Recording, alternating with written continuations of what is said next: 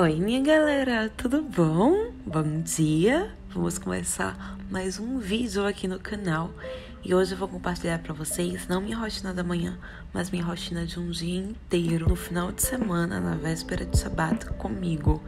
Então, se vocês querem conferir como foi minha sexta-feira preguiçosa, é só continuar assistindo o vídeo. Bom dia e bora lá! Nesse dia eu acordei um pouquinho mais cedo do que de costume, então foi um dia bem longo para mim. Então vamos lá.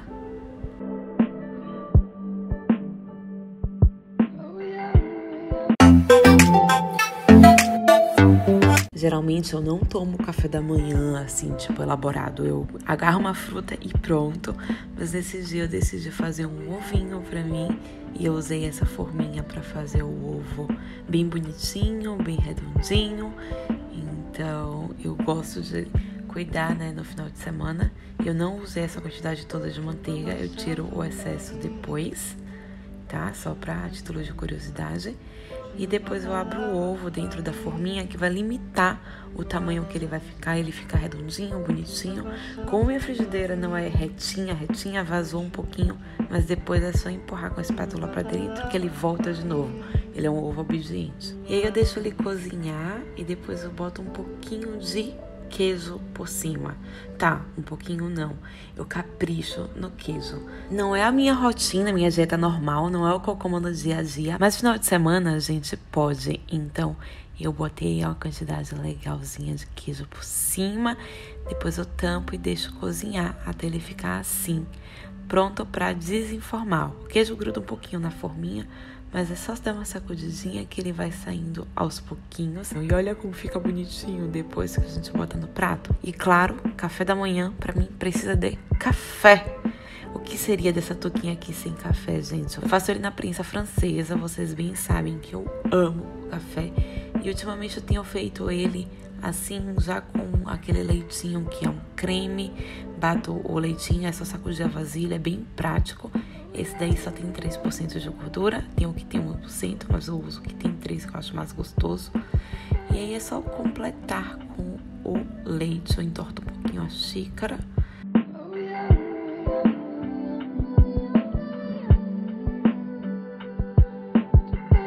E para adoçar, eu uso só um pouquinho de açúcar e também boto uma colherzinha de Nescau já chocolatado por cima e fica parecendo café de cafeteria, gente.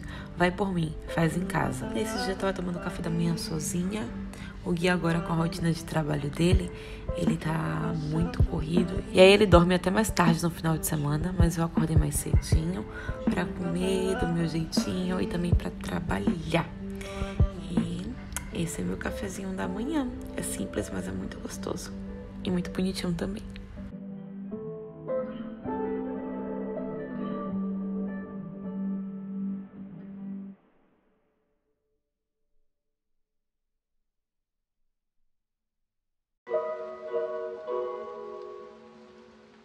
Depois eu corro pro computador para começar a trabalhar e nessa altura a Luna já acordou e fica me perturbando o juízo.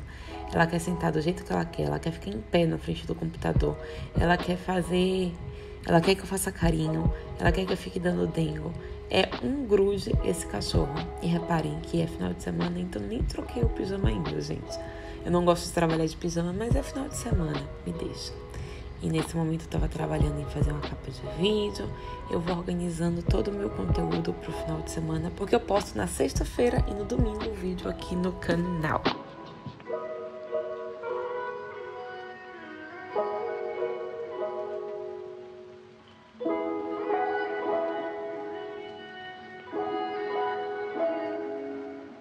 E depois de trabalhar, eu ligo o boiler e vou tomar um banho.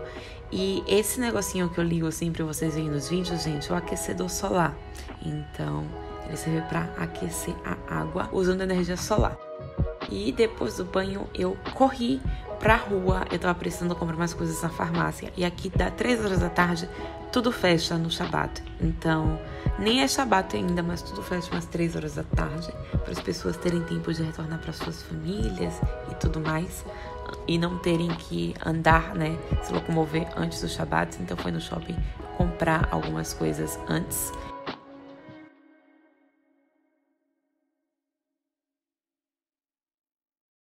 E quando eu voltei do shopping, gente, tinha um almoço prontinho me esperando. Gente, meu marido é muito maravilhoso. E eu também filmei depois um vídeo para vocês das minhas comprinhas na farmácia. E quem não ama comprinha de farmácia, né, galera? Eu mesma adoro. Sou muito suspeita em falar sobre isso porque eu sou alucinada por farmácia e a farmácia daqui é muito boa. Depois a gente foi assistir um pouquinho de La Casa de Papel e Luna fica muito grudadinha com a gente, gente. Mesmo a gente já tendo passeado com ela na hora de exigir, eu só não filmei porque é muito chato. Agarrar um cachorro com a mão e a câmera com a outra. Mas mesmo quando a gente passeia com ela, ela fica muito grudada, muito dengosa. Agora ela tá cansada, né? Porque ela passeou. E olha pra isso, gente. Quem aguenta esse cachorro? Olha essa patinha. Coisa mais linda. Eu poderia passar dias filmando a Luninha, eu juro.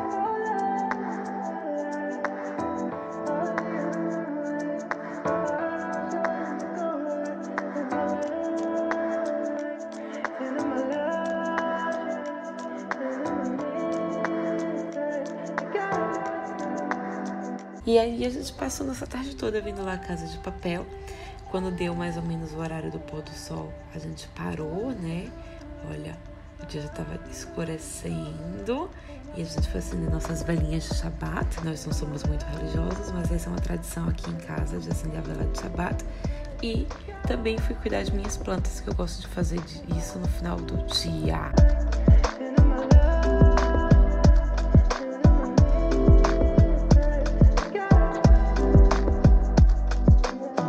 E, gente, agora é hora da janta e esse vídeo não é minha dieta normal, tá? Então, eu vou comer uma pizza na janta, por quê? Porque a gente merece, porque a gente pode, porque a gente come na dieta a semana toda, pra no final de semana a gente fazer o quê? Já cá. Eu pego uma pizza dessas que vem de mercado, boto mais queijo, molho de tomate, né? Molho de tomate mais queijo. Depois eu entupo do que eu quiser, do que tiver na geladeira. Então eu entupi de cogumelos e aí decidi botar no meio do caminho um manjericão por cima. E, gente, vai botando tudo que tem na geladeira que fica muito boa a pizza. Botei manjericão e também um pouquinho de tomate cereja. Daí é só levar no forno no tempo normal dela. Não precisa botar por mais tempo não, porque ela fica gostosa do mesmo jeito.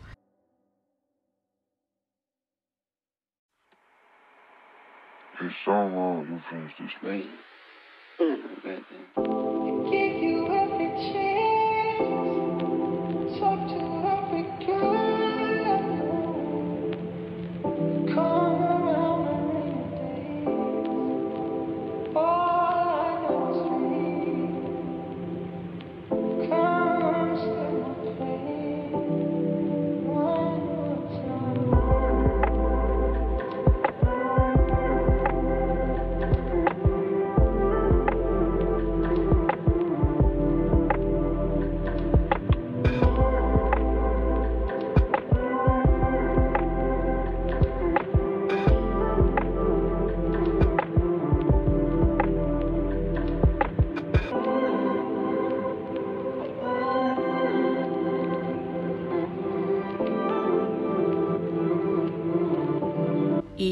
Olha que delícia essa pizza, minha gente. E claro que a gente foi comer né, na cama, assistindo, e eu peguei garfo, não sei para quê. Eu prefiro comer pizza de mão, e gente, ficou uma delícia, sério, faz isso. Eu pego uma pizza de mussarela básica em top de queijo e vai. Então a gente assistiu o episódio até tarde, depois, antes de dormir, eu gosto de fazer um chazinho para mim. É, eu faço um chazinho preto e boto umas rodelinhas de limão siciliano. Eu amo tomar chá e uma das coisas que eu mais tenho tomado antes de dormir é um chazinho ou de hibisco ou um chá preto. E agora é hora de dormir e eu aproveito que eu tô cansada já e já vou iniciar minha rotina noturna para eu me obrigar a dormir. Então eu lavo meu rosto na velocidade 3, né, na intensidade 3 do Forel, porque eu não usei maquiagem nesse dia, então não preciso de tanta intensidade para lavar o rosto. Eu uso um sabonetezinho da Nivea que eu adoro e, gente, esse é o meu momento. É uma coisa que para mim é inegociável. Daí daí para enxugar o rosto e eu gosto de escovar os dentes para o rosto ficar bem sequinho na hora de aplicar o hidratante. Então eu vou escovar meus dentes, e agora eu tô usando uma escova elétrica e aplicar meu hidratante, que é um hidratante muito, muito bom da Neutrogena. Eu tô apaixonada por ele, ele é noturno E depois de aplicar meus hidratantes, eu apago as luzes e vou dormir. Boa noite, galera!